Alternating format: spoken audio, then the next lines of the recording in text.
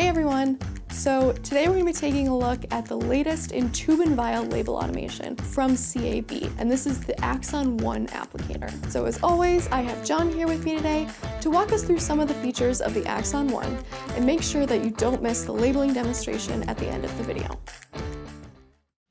The Axon One base unit is perfect for labeling tubes individually or can be incorporated into your automation with robotics. Gaining access from the top makes loading labels and ribbon a cinch. Because the Axon One does not require an air compressor and has such a small footprint, it can fit in any lab. With the heavy duty cover and the minimal moving parts, this is the perfect solution for clean rooms also. Tubes in the diameter of 10 to 26 millimeters can be processed capped or uncapped. Printing and labeling takes less than two seconds per tube. In a standalone operation, Without the use of a PC, variable information can be sent to the applicator with a keyboard or scanner. It's different than the Axon 2 because tubes are loaded vertically, so they can contain liquid. With additional features, such as a verification scanner or a camera, you can monitor your entire labeling process. So the design, the small footprint, the vertical application, and all the enhancement opportunities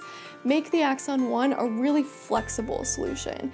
It can fit in seamlessly along any point of your labeling process. The Axon One has a base price of less than $10,000 and would then vary depending on your accessories and consumables. Our price includes the sturdy metal cover, which is not typically a standard offering, as well as technical support by both phone and email.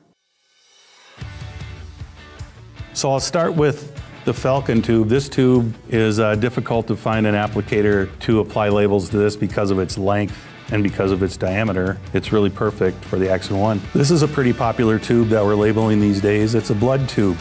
Each label is securely fastened with the use of the wipe down roller. Now, if you know of a applicator that's able to label these hinged cap tubes, let me know, but the Axon One can do it. The three tubes that I just labeled just happen to be approximately the same diameter.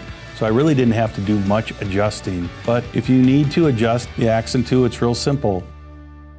So while you're considering your options, make sure you check out the Axon 2 and the Hermes Q tube applicators as well. Their videos can be found right here. And if you like this video, be sure to give it a thumbs up and subscribe for more.